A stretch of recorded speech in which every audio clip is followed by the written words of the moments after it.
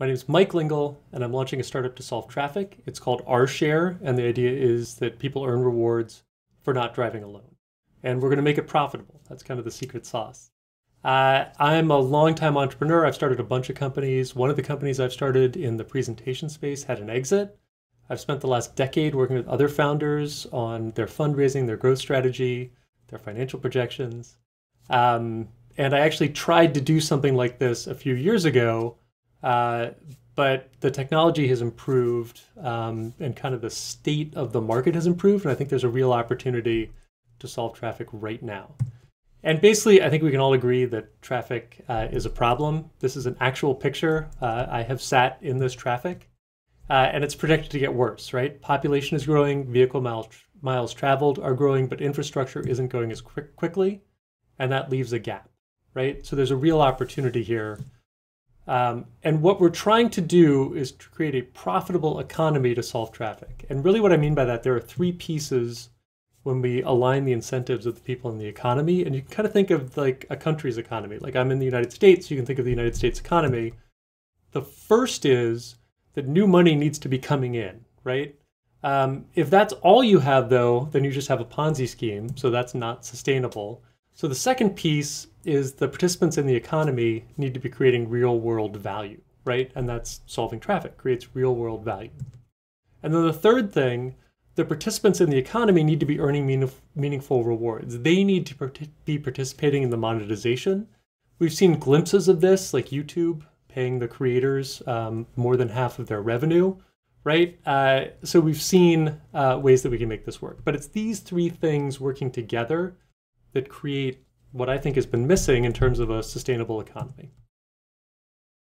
It's a game, we're creating a game that has subscription revenue, right? But solving traffic creates value, right? There is real world value. Traffic is a tragedy of the commons.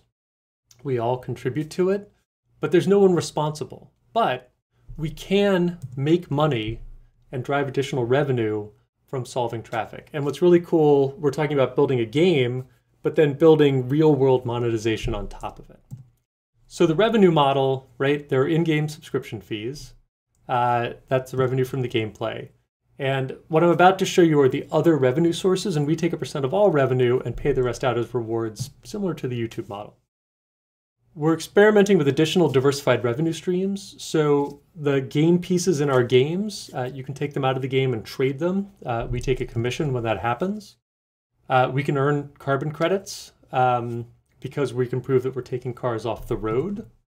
Uh, we can drive affiliate fees. So we have a user base that's very interested in not driving alone, right? So uh, we can onboard those users into services like scooters. Uh, in the business I did previously, we onboarded a bunch of our users onto a scooter company. But then, even better than just onboarding them, we built the habit because they're earning rewards every time they use that service and we can even boost the rewards. So the scooter company pays us, we pay out the rewards, but we also pay a bonus if, if someone rides a scooter five times a week, right? Donations, I think because we're solving traffic, there will be some uh, donations. Also, there are budgets to reduce traffic and reduce parking load, right? Both from governments and from private businesses. We did a lot of this work in Miami. Um, I was actually part of a contest to solve traffic in Miami five years ago. We went and talked to everyone um, so there are budgets to solve traffic, and also uh, solving traffic creates valuable data that we can license, anonymized, of course. And then sponsorships and ad fees because we have a valuable targeted audience looking to not drive alone. So again, we have the game, but then we're layering real world revenue on top of it, and it's all transparent, and we can actually show uh, the benefit and the reduction in cars on the road to anyone coming in to um, pay us money. So how does it work?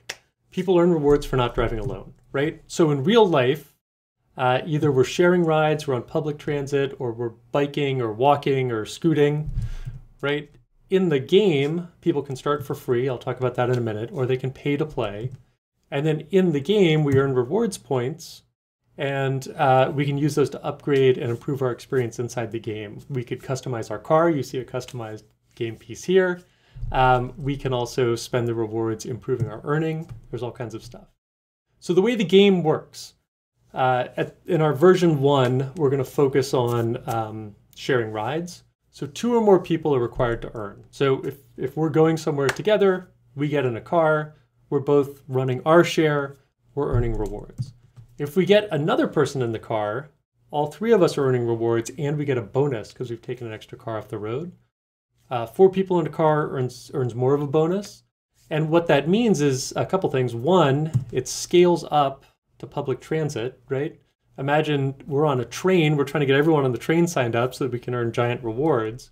And then two, it's inherently viral because I need other people to sign up uh, in order for me to earn. So whatever vehicle I'm traveling in, I'm trying to get more people in that vehicle and sign them up to the game.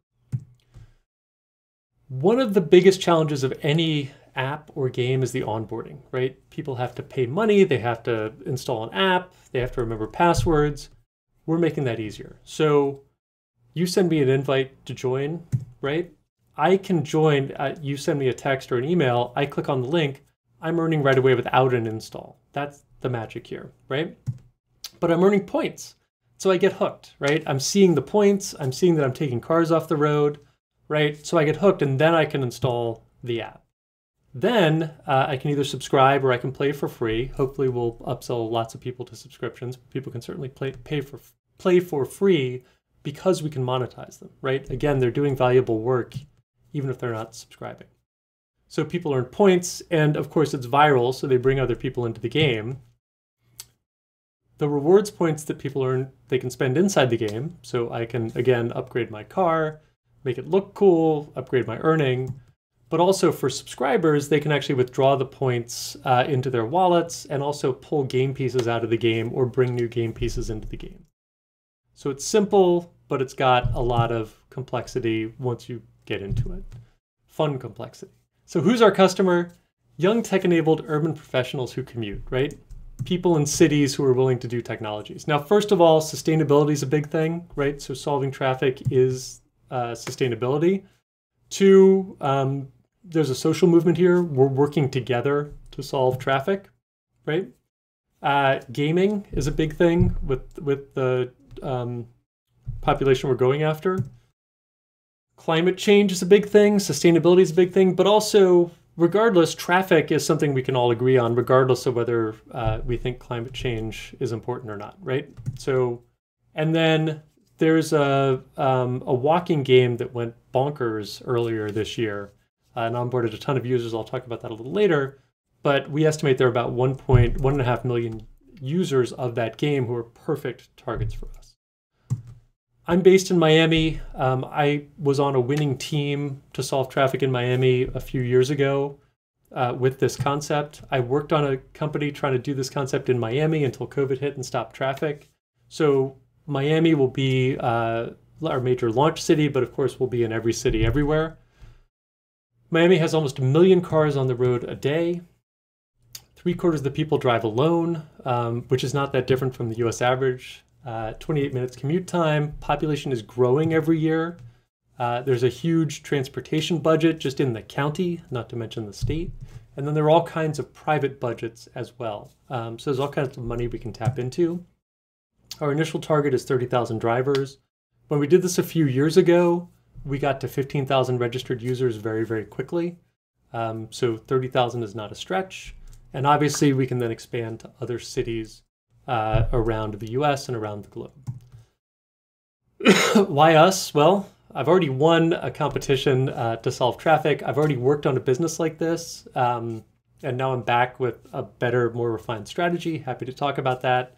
Uh, I'm also a tech guy. I've built, uh, I've been a software developer. I've run product.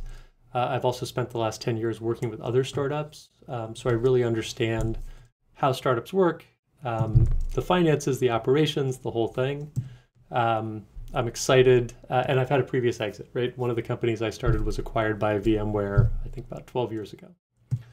For tech, uh, a guy I've worked with a bunch, um, Charles Irizarry, he's also based here in Miami. He's launched two venture builders, uh, one of them traded publicly. Um, and he also has been involved in about 30 different um, product launches. Uh, and two of those have been acquired within the past 12 months. So, excellent person to start this with. The actual app, um, you know, we built as a standard game, There will be some Web3 pieces, but that's fine. We have people for that. Uh, also, Roger Mayer uh, coming in for operations. He has a Wall Street background, um, is super helpful with the fundraising and the financials, but also with the operations. He's also done a ton of work in the uh, Web3 space. We have some uh, amazing advisors. Salim Ismail is our exponential growth uh, mentor. And then James Ward is all about uh, data and um, the legal strategy around data. And of course, we'll be generating a lot of data with this. Our CTO, Charles, brings a development team. So we're already in development. We're already um, doing customer validation, wireframing the app, uh, thinking through all the fun problems. And then we have a very talented artist, Marlon Portales, who's helped us with some of the visuals you see in the deck. So we've got a good team. Uh, we're working on bringing on a marketing co-founder. I think that's the the piece that I really want to get right is the growth strategy. Um, I have some skills at that, but uh, we can always be better. So I do want to call out one thing. I did say game piece trading fees, um, which is code for NFTs and Web3. All that means is ownership, right? Um, so, and we're seeing some non Web3 people get very excited about effectively NFTs. Reddit uh, just launched avatars. They didn't use the word NFT, but they're NFTs. Uh, and in the past few weeks, they've onboarded more NFT wallets than OpenSea, which is the main, OpenSea is a five year old NFT trading platform. Again, Reddit people are not NFT people, but they're going bonkers for this, right? Starbucks is about to launch uh, NFTs into their 28 million member rewards platform. Again, not NFT people. Um, NFTs are nothing to be afraid of. They literally just mean ownership in the NFT world, in the Web3 world, this game called STEPN that you may have never heard of is a walking game that went bonkers. Uh, a million daily active users, 5 million registered in less than a year. Uh, and just in Q2, they did over a billion dollars in sneaker game piece trading. So this is a real thing, right? Okay, so why now? Um, rewards and gamification are changing real real world behavior. Essentially, what we're doing is taking the traveling population and nudging the undecided travelers, right? Um, unfortunately, this technology has been proven in elections. Uh, we are harnessing it for good to solve traffic, right? Traffic is getting worse globally, um, and transportation accounts for a huge chunk of US emissions. Web3 communities are passionate and are looking for opportunities to solve real problems. Um, I don't know, uh, there was a group that sort of sprung out of nowhere online that tried to buy a rare copy of the US Constitution last year and raised tens of millions of dollars and only barely lost, right? Web3 communities love this stuff.